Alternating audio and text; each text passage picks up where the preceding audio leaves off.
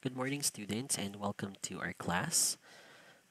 Our course is called English for Academic and Professional Purposes, and here is our course description. It's the development of communication skills in English for academic and professional purposes. Let's start with the virtual classroom rules. Please find a quiet place to work. Always be prepared Mute your mic when you're not talking and when you're, when you're not asked to talk. But when you're asked to talk and recite, please speak. You have to prepare to be prepared and be on time and be respectful and kind. So our lesson for today will focus on the nature of academic writing. What is academic writing? What is academic English? And when we talk about academic writing, we focus on understanding the differences between academic and non academic texts, and also the structure of academic texts. Let's start with our learning goals. At the end of the class, you can understand important terms commonly used in English for academic purposes class, differentiate academic from non academic texts, differentiate academic style from other styles of writing, and use knowledge of text structure to glean the information you need. Let's begin with, or let's begin by understanding some definitions of important subject terms. We will have a little game, and I'd like you to pause the video in order to buy some time to answer uh, the whole game. Here are the mechanics of the game. This will be an individual work, obviously. This will be done silently. You have to mute your microphones while answering. You need to work on solving the vocabulary puzzle. You need to rearrange the letters to figure out the right word. Circled letters with designated numbers below corresponds to the placement of letters in the secret message at the bottom of the puzzle. The secret message should be sent to the chat box after the cue. Whoever sends the correct secret message first on the chat box wins the game. And you only have two minutes to figure out all the words if this is in a classroom setup. But since this is a video, um, this is a video presentation, you can just simply pause the video until you get the correct answers. Let's begin with the first three.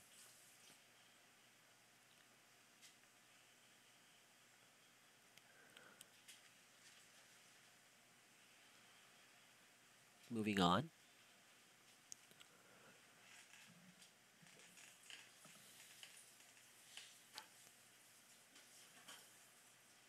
Next.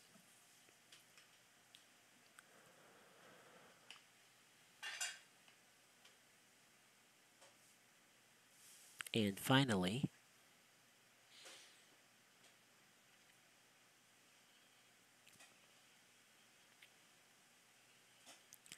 Here are the answers to the puzzle. Number one is academic, two, text, three, structure, four, technical, five, style, six, discipline, seven, content, eight, non academic, nine, audience, and number 10, explicit. I hope you got all the right answers correctly, and I hope that you were able to understand the definition of these words. So, what's the hidden word? The answer is academic English. Now, let's begin by looking at the differences between academic and non academic texts. In order to understand academic texts better, let's look at this paragraph. You can pause this video to give you time to read. After reading, I would like you to look at the questions on the left side. You may pause the video as you respond to the questions. Now let's try and answer the questions. In order to answer the first question, we can look at the purpose of the text and what it wants to explain. The text explains one's opinion on the right to own a gun. It could be an assignment written by a student on this topic or a concerned citizen who would like to post his or her opinion on the topic. On to the next question. For whom is the text intended? In other words, who could be the immediate audience of the text? In writing, audience refers to the readers of the text. Here, if the paragraph is written by a student, then the immediate audience would likely be the teacher. However, if it's written by a concerned citizen, it might have been written to influence others' opinion on the subject and thus might have no specific or immediate audience. Moreover, the text discusses the right of people to own a gun, and the text is easy to comprehend. Let's go to number three. In order to answer the next question, we have to focus on and examine how the paragraph is written. Look at the following highlighted words. What can be said about the writer's dic diction or choice of words? While some of the words used are formal, informal words can also be found in the paragraph. Words like sort of, kind of, stuff, would of, and shooters can be considered informal as they are more used in speech than in writing. You would often hear these words used when talking to someone than in written text. One other noticeable feature of this paragraph is the way the sentences are written. Most of the sentences begin with the same words. They kind of think, they also think, I also think, and I also think, which makes the paragraph dull, redundant, and casual. Moreover, some of the sentences began with words like but and and. These are conjunctions, and if you can remember your writing teachers back in high school, one important rule when writing formally is to avoid beginning sentences with conjunctions. These word choices make the paragraph casual and informal. For the question number four, Organization in written text is important. We can see that the text follows a structure. The text begins with the writer's overall opinion on the topic and proceeds to support this by providing examples and citing statements of people.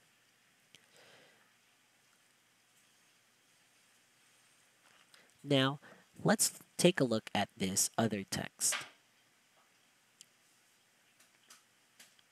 It has the same subject, but written in a very different manner.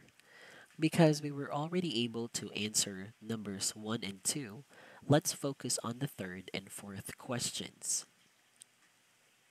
How does the paragraph look this time? What kind of vocabulary words were used? Are there any varieties in the construction of sentences? Is it error-free?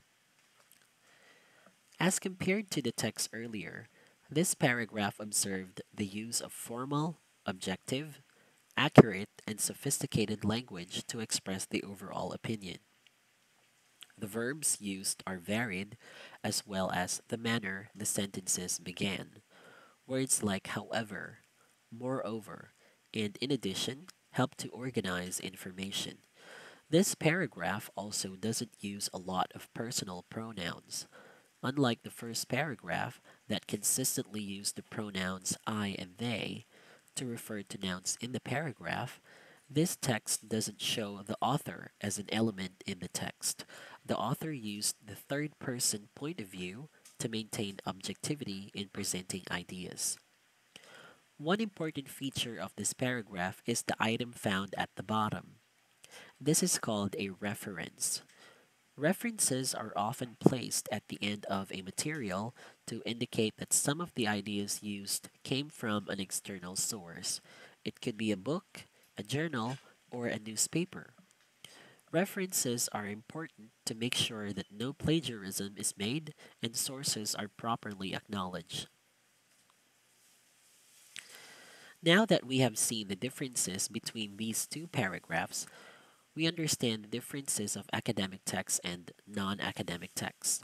Let's look at these differences further. Academic and non-academic texts can be differentiated based on a few aspects. First is the audience. As mentioned earlier, audience refers to readers. The audience of academic texts are what we call academics. Academics include um, people engaged in any educational practices or activities. Some examples would be professors, teachers, researchers, scholars, and students like yourself. As you might have observed, most of your writing and speaking assignments require you to use formal language. One example would be research papers. They are written by professionals in a specific field or discipline. Thus, an architect writing a paper on the theories of architecture would use words and concepts specifically used in that field.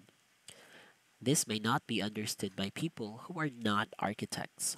In the same way, a chemist writing a scientific report would use, a, would use discipline-specific words to describe an experiment. An architect might not be able to understand this. On the other hand, non-academic text audience are the general public. In other words, people who understand English. Some non-academic texts, however, have specific audiences too. Take for example a cookbook or a recipe. Although everyone can understand the book, some recipes are written for people who have more experiences in cooking. This might mean that others may not understand the content of the book. The content of academic texts are usually serious in thought. In other words, most academic texts are written with the purpose to inform, argue, or explain a subject. Writers of academic texts are often authorities or professionals who have a wide understanding of a subject. For example, in order to explain the characteristics of the coronavirus, scientists report the result of their studies. To explain the steps in simplifying an equation, a textbook will show steps in an organized and accurate manner. On the other hand, the content of non-academic texts are usually of general or personal interest trending topics in social media, or features of people or events that became viral overnight would be topics of general interest. However, there are many texts considered non academic whose topics are of serious thought as well. Take, for example, newspapers.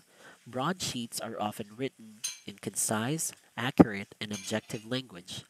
However, there are also newspapers called tabloids that are oftentimes written in colorful artistic language, thus making it informal. Style is another important feature of a text that would tell you whether it is formal or informal.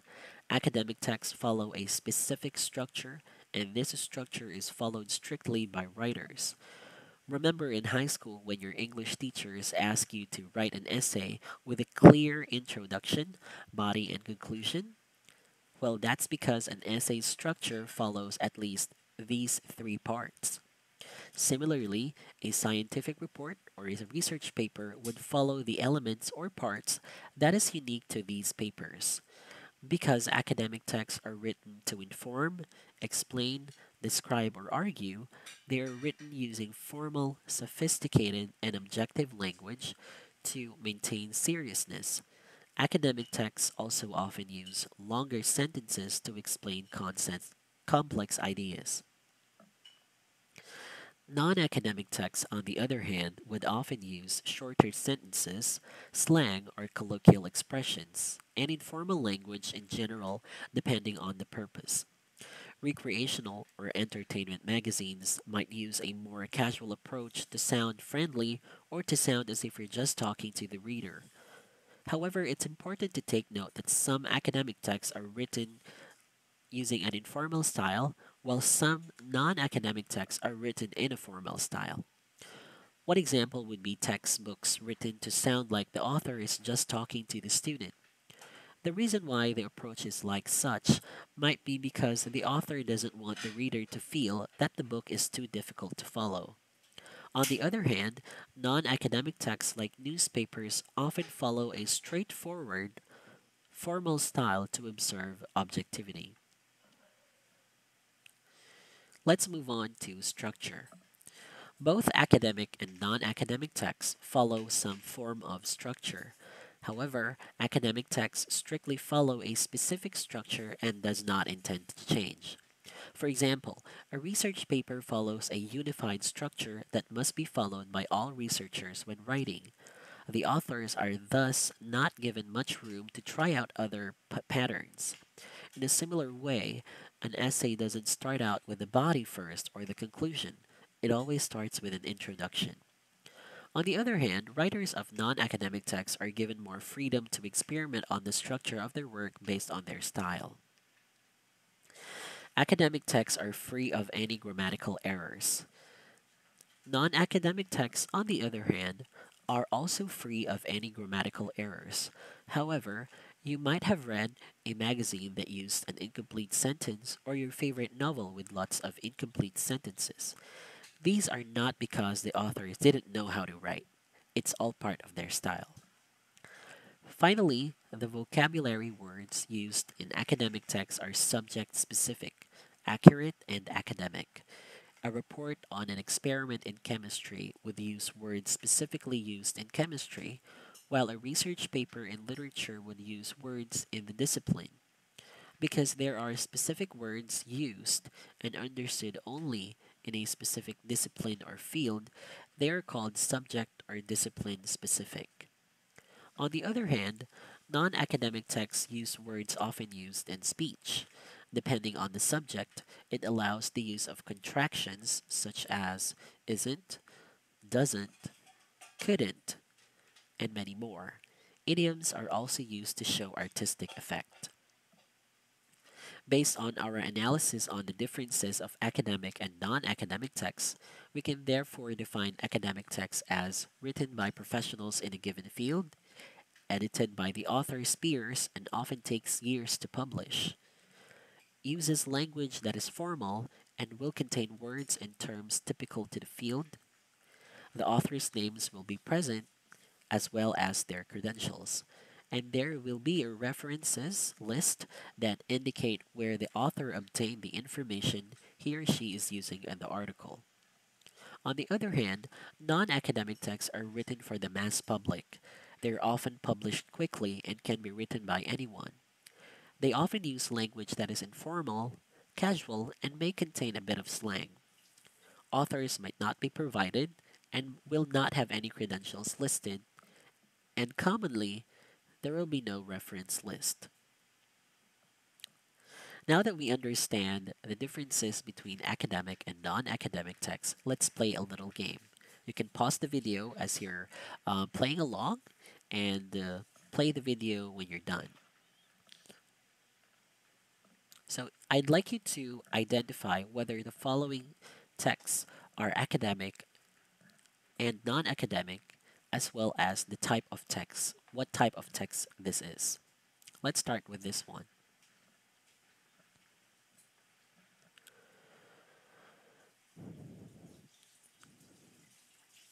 This is an example of a non-academic text, and this is a magazine article.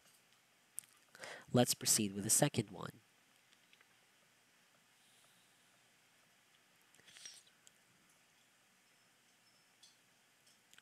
This is an academic text, and this is an example of a journal. If you look at the title of this text, as you can see, the um,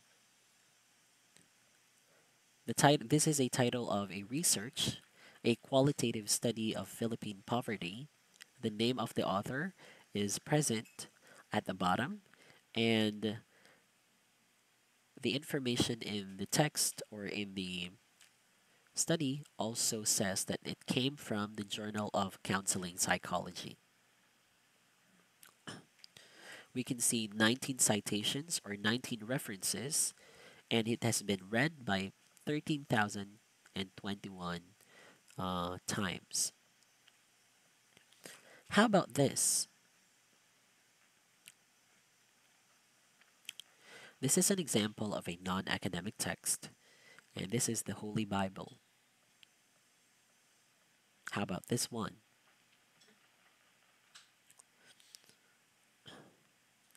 This is an example of a non-academic text, and this is a literary piece, or specifically a novel.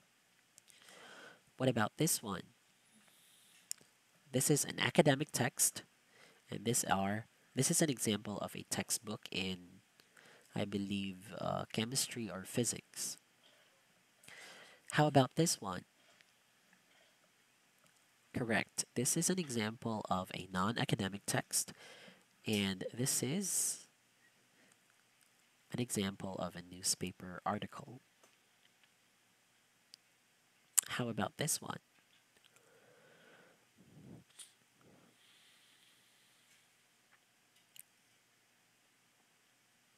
This is an example of an acad academic text, and it's an example of a thesis. What about this?